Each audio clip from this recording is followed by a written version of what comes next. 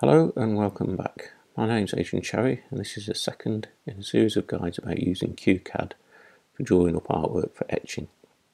In the first one I covered the general setup of the page and the layers that we're using. On this we'll get to use some of the drawing tools and show you how I've used it.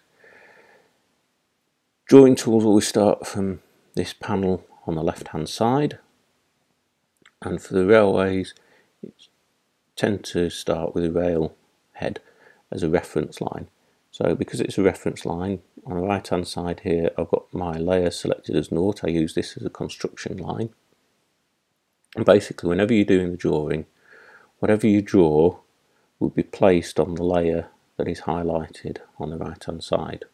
You can change it later on because in the properties there's the layer and so you can swap the between layers if you get I quite often put it on the wrong layer and have to move it afterwards.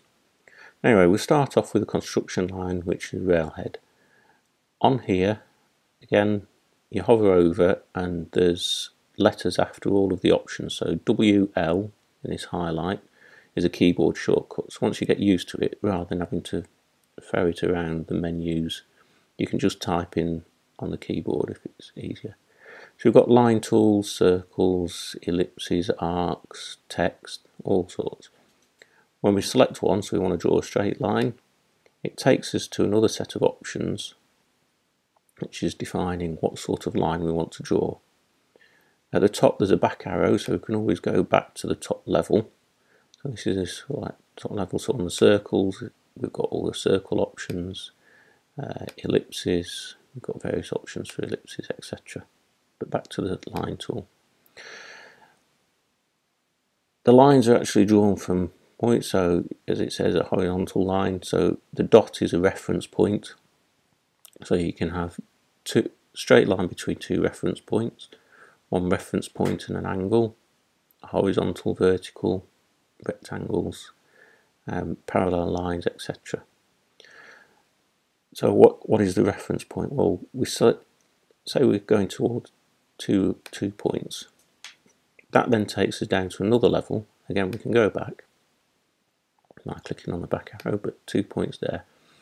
And this defines all the reference points. Now, we haven't got any other lines drawn at the minute, so we can't really use any of these options further down, which are related to the line.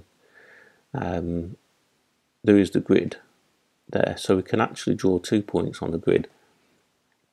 Now, fortunately, it automatically selects the best option. So if you've got nothing selected, it will pick the best option that it can.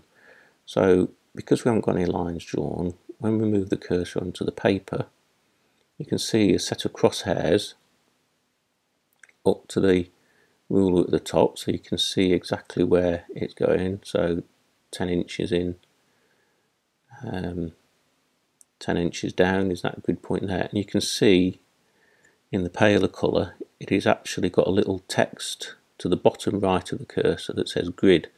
So that's going to tell you it's going to snap to the grid point. So even though the cursor isn't quite on the grid point, you can see I can move it away slightly, move it back, and the crosshairs don't move.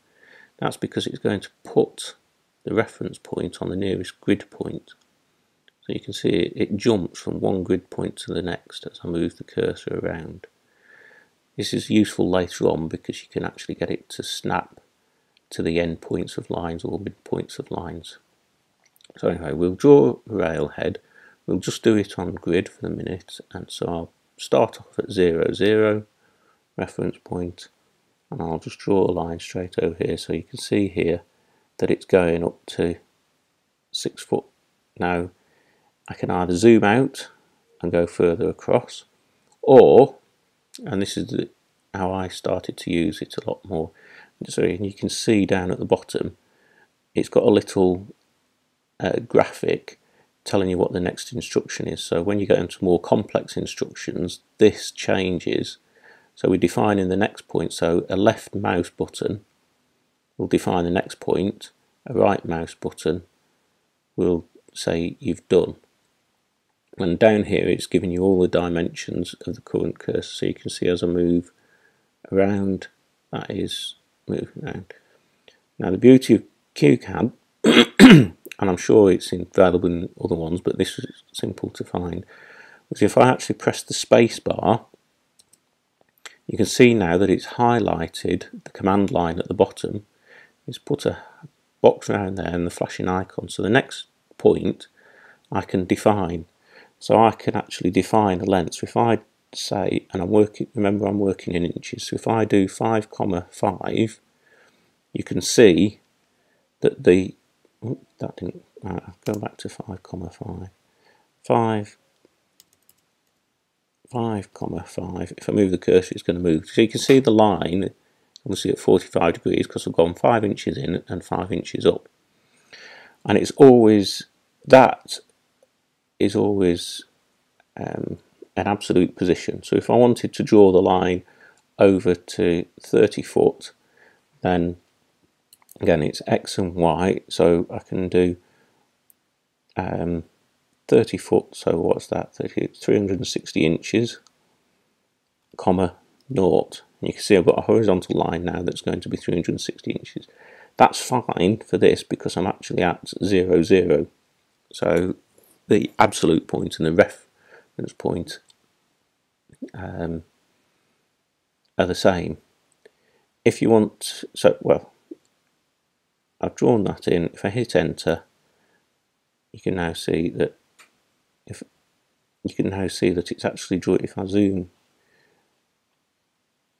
zoom out and again I'm, I'm on a I'm using an Apple laptop so the touchpad I can zoom like on an iPad by just moving it's a multi-touch thing so you might have to use the zoom tools if you're using different system so you can see I've got my line but I'm, I can draw more points rather than just a single line.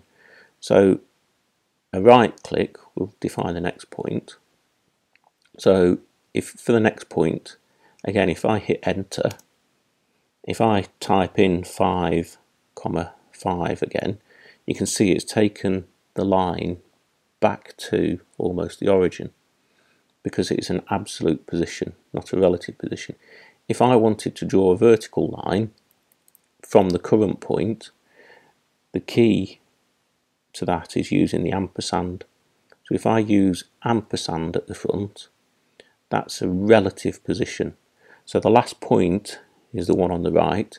So if I say ampersand 0, so no more x, but 12y, you can see now that from the last point, it's gone 0 inches in the x direction and plus 12 inches in the y direction.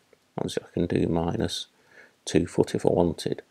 So I can literally type in the dimensions relative to the last point if I wanted to.